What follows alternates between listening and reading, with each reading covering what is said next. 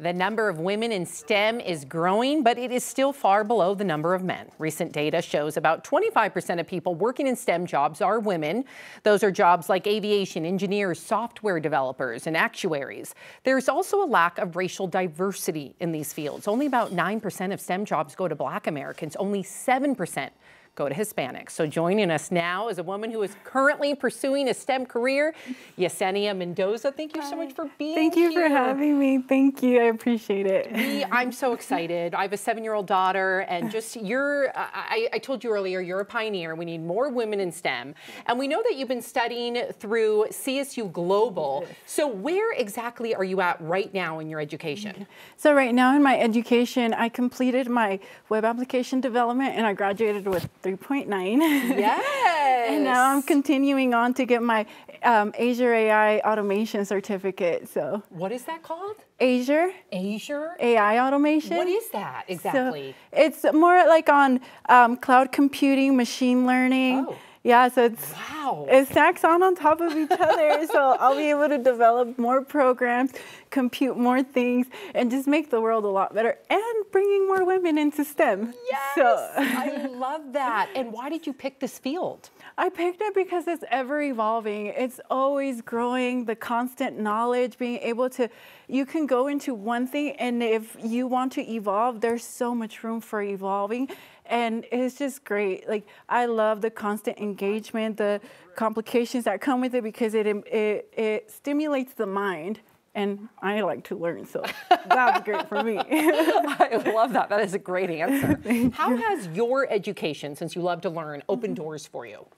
It's opened doors for me quite a bit. Um, CSU Global has helped me a lot because you know they gave me the foundation for it. And then I got an internship with Solved It, um, and they're based out of New York. So they're uh, they're a IT company, a IT solutions company for the tri-state. So I'm able to intern with them, and I'm learning so much. So it's definitely opened doors for me. So. Oh my gosh, I can't wait to see where you are in five years. What obstacles, I can only imagine, have you overcome just to get this education in STEM and education in general? Yeah, well, I come from the Five Points, which is the inner city. Um, automatically, we're already doubted. We're already there's already a preconceived notion that we don't have the intellect to go into these fields, into these careers. So there's already all this doubt buildup. So it has been complicated. It has been difficult, but we're able to do it. Yes, you are. A Latina woman in technology, a woman in tech, like this is where I want to be. I love this. You know, International Women's Day is on mm-hmm. Saturday, and this is just mm-hmm. perfect for that. So, what challenges have you faced in such a male dominated industry? Mm-hmm. Yes, so there's always the traditional biasm that comes with it, with uh, you know being a woman in a uh, male dominant field. There's a bias of we don't get paid as much as a man does. We look get looked over because of a man is there. We have to worry about our appearance because if we look too appealing, they might not take us seriously.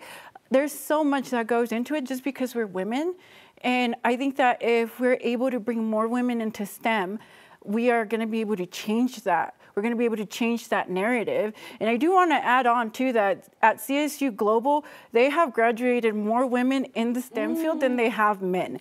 So we're on our way. yes. Okay, so we only have about 30 seconds left. Uh, I can only imagine what a great mentor you're going to be to a lot of young women.